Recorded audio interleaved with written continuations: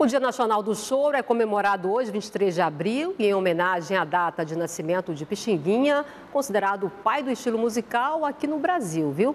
Para celebrar a data, o Corpo Musical da Polícia Militar de Goiás realiza na próxima semana uma série de apresentações dedicadas ao músico.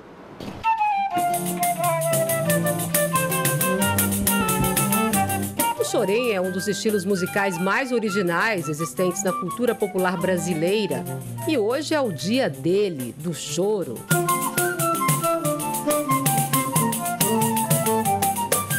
Predominantemente instrumental, o Chorinho terá uma semana dedicada especialmente a ele.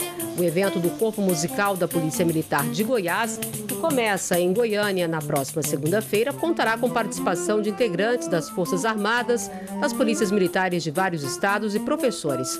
Haverá palestras, workshops e aulas de militares abertas ao público. É só um ensaio do que nós estamos fazendo aí durante toda essa semana. É um, uma grande semana, a primeira semana musical do choro, do chorinho, porque nós estamos comemorando essa semana o aniversário do Pixinguinha, grande choriça que deixou história, marca uh, nacional e internacional.